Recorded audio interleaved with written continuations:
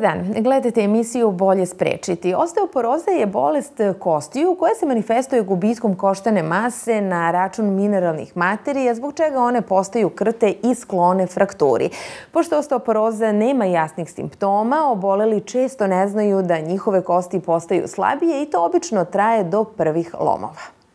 Osteoporoza je zdravstveni problem u kome dolazi do gubitka normalne tvrdoće kostiju, uslede čega one postaju lomljive. Kosti gube svoju tvrdoću zbog nedostatka gradivnih materija i postaju sunđeraste. Koštana masa određuje tvrdoću kostiju koja zavisi od različitih faktora kao što su starost, pol i životne navike, a grade soli kalcijuma. Normalno se koštana masa stvara tokom detinjstva do 25. godine života, ne menja se sledećih 10 godina i od 30 35. se normalno gubi 0,3% do 0,5% koštane mase godišnje. Kukovi, karlica i donji deo podlaktice najčešće su mesta preloma kod obolelih od osteoporoze. Međutim, osim preloma kostiju, pri padu, kod njih su karakteristični i kompresivni prelomi kičmenog pršljana. Tada dolazi do mrvljenja oslabljenih kostiju pršljana usled njihove nemogućnosti da više podnose težinu tela. Poseban vid ishrane vezan za osteoporozu osteoporozu svodi se uglavnom na povećan unos hrane bogate kalcijumom, vitaminom D, hranom koja čuva dejstvo estrogena i testosterona i kontrolu energetskog unosa jer povećana telesna masa dodatno opterećuje kosti. Pre nego što nastupi osteoporoza javlja se osteopenija. Taj termin označava gustinu kostiju koja je manja od normalne, ali nije toliko niska da bi se smatrala osteoporozom. Naime, kod osteoporoze gustina kostiju je toliko toliko mala da postoji opasnost od preloma čak i pod uobičajenim okolnostima. U nekim slučajevima kosti postaju toliko krhke da se mogu prelomiti tokom svakodnevnih aktivnosti. Takav gubitak koštane mase karakterističan je za starije osobe, a izraženiji je kod žena nego kod muškaraca i to u periodu postmenopauze. Osteoporoza je bolest kod koje prirodno lečenje može dati dobre rezultate i povećati kvalitet i gustinu kostiju. Lečenje je najefikasnije efikasnije ukoliko se preduzme odmah sa pojavom osteopenije. Šetajte, vozite bicikl ili idite na bazen, posetite svog fizijatra koji će vam propisati ciljane, neagresivne vežbe kojima ćete ojačati leđine i trbušne mišiće i tako dodatno zaštititi kičmeni stub od daljih komplikacija kao što je diskus hernija koja vodi u oštećenja nerava. O tome šta je osteoporoza, kako nastaje i da li se uopšte može sprečiti, razgovaram sa primariusom doktorkom Natašom Radosavljević, fizijatrom, reumatologom. Doktorka, dobar dan i dobrodošli u emisiju. Dobar dan, bolje vas našla. Veliko mi je zadovoljstvo što mogu da razgovaram s vama danas ovde i da podelim nešto što znamo sa gledalcima kojima će to svakako koristiti. Sigurna sam i vi ste prava osoba za to. E, hajde za početak da malo e, našim gledalcima ispričamo šta je to uopšte uopšte osteoporoza? E, kada vidite kosti i kada imamo neku sliku o kostima u glavi, uvek nekako mislimo da su to neaktivna, mrtve, mrtva substanca. Međutim, kosti imaju vrlo živahan metabolizam koji se sastoji iz neprekidne razgradnje i ponovne gradnje koštanih elemenata. Tu rade vredne ćelije osteoblasti koji grade i osteoklasti koji razrađuju kost, tako da mi stalno imamo novu, to je renoviranu kost. U nekom delu našeg života, da najčešće to ili kao posledica nekih bolesti ili kao posledica starenja ili menopauze kod dama, dolazi do povećane razgradnje na račun izgradnje kosti. E tu mi dolazimo u problem. Naše kosti postaju napravljene od lošijeg materijala, poroznije i zato i imamo jedan, jedan termin, odnosno jednu pojavu koja se zove osteoporoza. Ja sad to ne bih nazvala bolešću. Osteoporoza je stanje u kome naša razgradnja kostiju nadvlađuje izgradnju kostiju i to je zapravo metabolička bolest kostiju. Ko najčešće ima problem osteoporoze?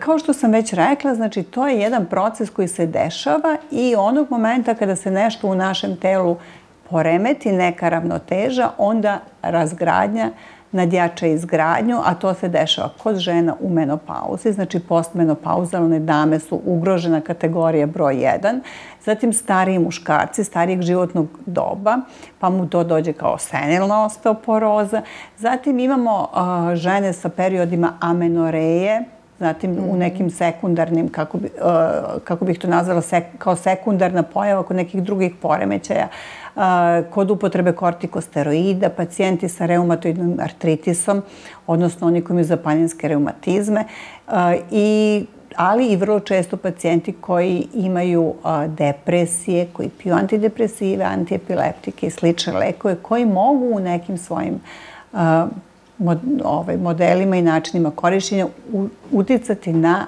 koštanu gustinu. Doktorka, da li uopšte osteoporoza može da se spreči? Naravno da može. E, to sve što nekada u našem životu dođe na red da se gubi, zavisi koliko ćemo izgubiti i dokle ćemo stići od onoga što smo stekli, kao i u životu, tako i u kostima. Znači, ako steknemo puno, mi ćemo imati veliku, veliku zalihu koštanih materijala, odnosno naša će kost biti vrlo čvrsta i vrlo ćemo teško doći u situaciju da ona bude krta i lomljiva.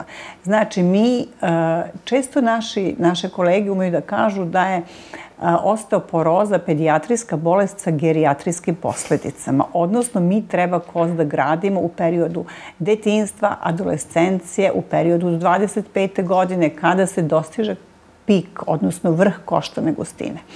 Onda kreće polako razgradnja. Znači, ono sa čim uđemo u taj period je naš zalog za budućnost.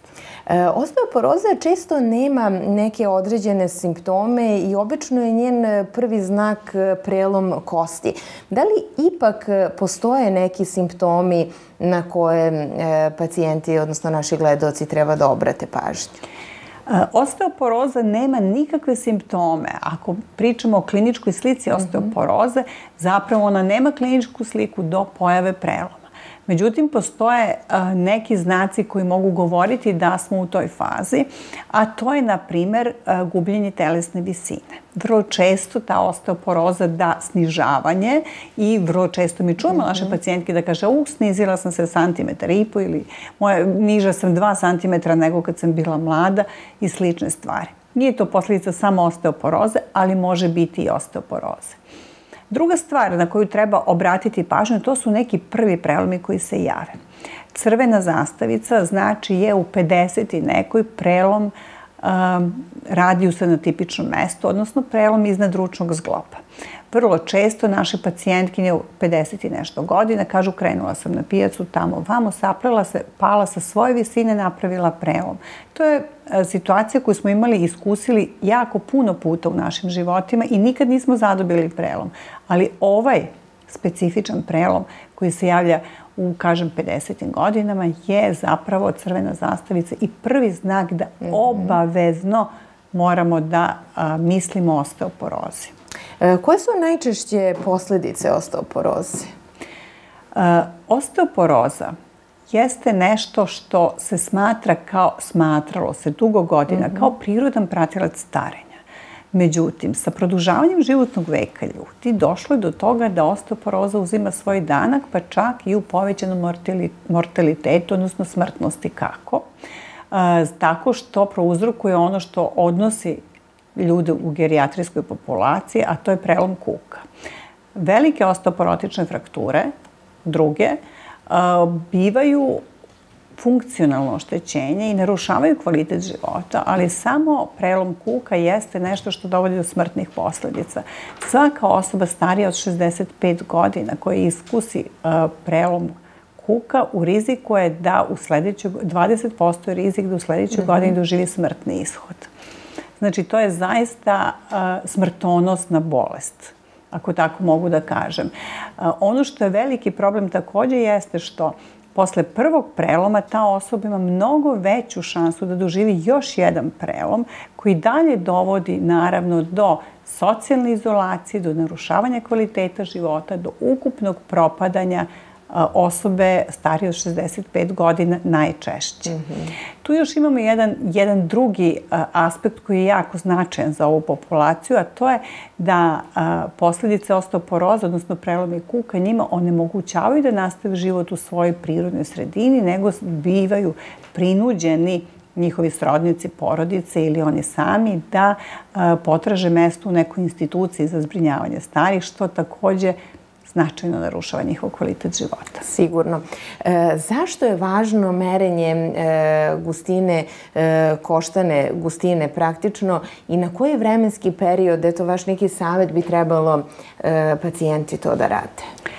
E, samim tim što smo sagledali znači kolike su posledice osteoporoze i osteoporotičnih preloma, jasno je da moramo tu bolest sprečiti imamo lekove koji mogu da leče osteoporozu. Znači, ako postavimo dijagnozu na vreme, ne moramo da iskusimo njene posledice. E, apsolutno je jasno i tačno merenje, koštenog, e, merenje koštane gustine dvostrukom apsorpcionometrijom, e, odnosno to je jedna metoda koja je praktično neškodljiva zračenje kod modernih aparata jednako preko okeanskom letu traje pet minuta, ajde da kažemo neki minut duže, potpuno je neinvazivno, neagresivno, prođe iznad vas jedna ruka i vrati se, vi ne osetite ništa, u udobnom ste ležećem položaju. Znači nešto što vas ničim neće ugroziti, a doprineće tome da ne iskusite strašne posledice osteoporoze.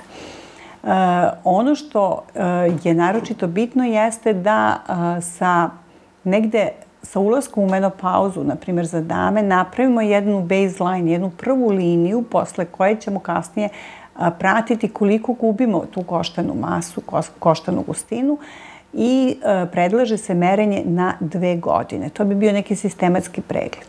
Naravno, ukoliko vaš lekar započne lečenje osteoporoze, on može sa vama imati dogovor da se vidite i na godinu dana. Nije potrebno svakako češće da bi se proverili rezultati mm -hmm. lečenja. E, šta je sekundarna prevencija u ovom slučaju? Da, to je ono što, što, smo, ovaj, što sam već na neki način spomenula. Sekundarna prevencija jeste ono što radimo da ne zadobimo drugi osteoporotični prelom. Znači, a, tražiti kao i e, osteoporozu među celokupnom populacijom jeste tražiti kao iglu u plastu sena. To je veliki posao, značajan za društvenu zajednicu, ali veliki. Međutim, samo sprečavanjem ponovnih osteoporotičnih preloma sprečit ćemo veoma veliki broj osteoporotičnih preloma. Znači, ne smemo preskočiti prvi prelom, ne smemo preskočiti snižavanje, znači prelom a, obično kičmenih pršljenova grudnih i prvih lumbalnih, koje vrlo često previdimo i budu slučaja nalaz na rentgenskim snimcima. Ne smemo prevideti prelome, znači preskočiti prelome ručnog zgloba, koje smo zadobili, one koje sam malo prepominjala, i moramo sprečiti nastanak ovog velikog preloma, preloma kuka, a ukoliko već imamo jedan prelom kuka, ni tada nije kasno. 86% preloma ćemo sprečiti ako budemo samo u ovoj populaciji koja već ima osteoporotične prelome preduzeli sve što je u našoj mogućnosti za lečenje osteoporoze. E, ide zima, hladno vreme, poledice i veliki broj e, pacijenata misli da je to jedina prilika kada mogu da se povrede i ne izlaze iz kuće. A vi ste mi jednom prilikom rekli da se najveći broj padova upravo dešava u kući.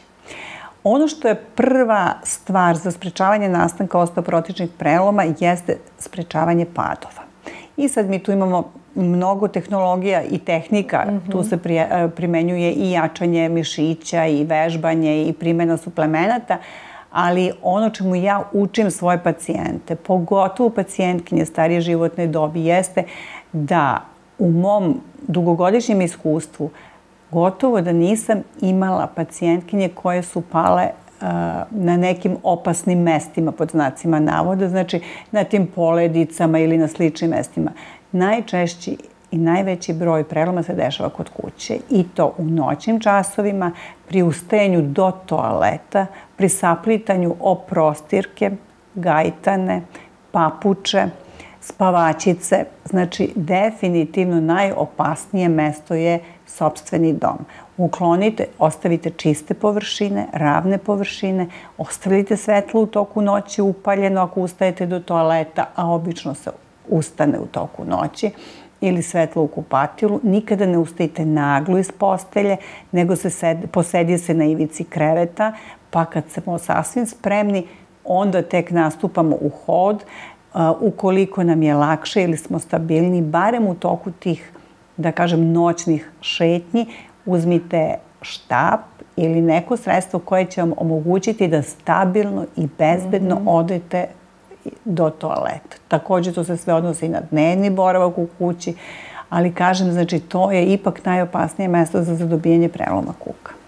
E, što se tiče lečenja osteoporoze, suplementacija je tu neophodna. E, šta se dešava sa ishranom? Kakva hrana treba da bude kod osoba e, koje imaju ovaj problem? E, ono što je znači bitno naglasiti da danas imamo puno novi i novih generacija i starih proverenih lekova i da se farmakološki osteoporoza leči zaista adekvatno i efikasno. Uz to moramo imati adekvatnu nadoknadu kalcijuma i vitamina D prvenstveno. Kad kažemo kalcijum i vitamina D, treba znati da vitamin D praktično u našem podneblju ne možemo nadoknaditi ishranom, on se obično uzima suplementima, dok kalcijum možemo. Ja vrlo često čujem od mojih pacijentkinja, ali ja ne podnosim mleko. Zabluda je da mleko imamo sa, da je kalcijum samo u mleku i u mlečnim proizvodima. Počevši od tofua pa preko kelja, brokolija, karfiola, sve su to izvori kalcijuma. Znači i povrće ima puno kalcijuma. Znači, moramo imati kalcijum. Druga stvar, vrlo često mi u uh, gerijatrijskoj populaciji, odnosno znači, kod starih osoba, imamo nedostatak belančevina, albumina. To nađemo kao uzgreda nalaz pri laboratorijskim analizama. Znači, hrana bogata proteinima. Mora se imati hrana bogata proteinima. Sledeća stvar, anemija. Vrlo često stari ljudi koji manje izlaze, koji jedu manje uh, mesa u hrani, umeju da budu i anemični, znači hiposideremijske anemije, koje takođe dovode do vrtoglavica, koje dovode, znači, a da ne kažem koliko su sve to bitne stvari da ako dođe do preloma, da dobijemo, da taj prelom bolje sraste. Tako da znači jedna kompletna, raznovrsna mm -hmm. ishrana sa dodatim suplementima gde to samo mora je ono što će nas spasiti od posledica koje mogu biti devastirajuće. E, što se tiče fizičke aktivnosti, e, opet pacijenti e, vaši misle da je šetnja, plivanje sasvim dovoljno u određenim godinama kao, da kažem, obavezan, obavezna fizička aktivnost. Međutim, ni to nije dovoljno. Tako je. Prilikom šetanja i prilikom znači, plivanja mi aktiviramo zaista celo telo i mišići i to je zdravo, to je neosporno zdravo i mi time raz, razvijamo svoju kardio, kardiološku, odnosno kardiopulmonalnu rezervu, imamo jedan aerobni trening i poboljšavamo cirkulaciju, znači nema sumnje da je to za nas veoma korisno. Ali to ne vrši dovoljan pritisak na naše kosti kako bismo mi E, doveli do e, situacije da se njima čvrstina povećava. Znači da bi mi imali povećanje koštane čvrstine moramo imati vežbe sa opterećenjem. Znači vežbe sa opterećenjem su jedino što dovodi do povećanja košt, mineralne koštane gustine i to samo uh, efekat ne, nema prolongiranu dejstvo kad prestanemo da vežbamo. Mhm. Nažalost, znači intenzivno vežbanje i to stalno. Koji bi vaš savet bio za sve naše gledalce?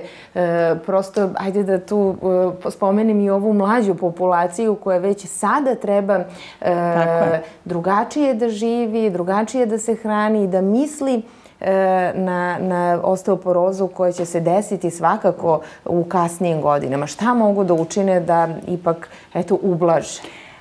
Ja sam jednom čula na jednu našu profesorku kako je govorila da uh, što mi se veoma svidelo, da smo mi vrlo lepo našli koštane ostatke naših predaka a da se boji da će oni od nas naći samo prašinu. Znači, prosto, način života koji su imali naši preci, kad se moralo, znači, pojesti samo ono što su ulovi ili slično, mm -hmm. je dovodio do toga da imamo čvrste, zdrave i jake kosti. Sedatorni način života, bez mnogo fizičke aktivnosti, sa nedovoljno raznovrsnom ishranom koja ne, ne sadrži dovoljan broj svežih namirnica i ne sadrži do, dovoljne količine znači korisnih namirnica, dovodi do toga da su nam kosti sve slabije. I sa prevencijom osteoporoze mora se početi iz dečijeg uzrasta.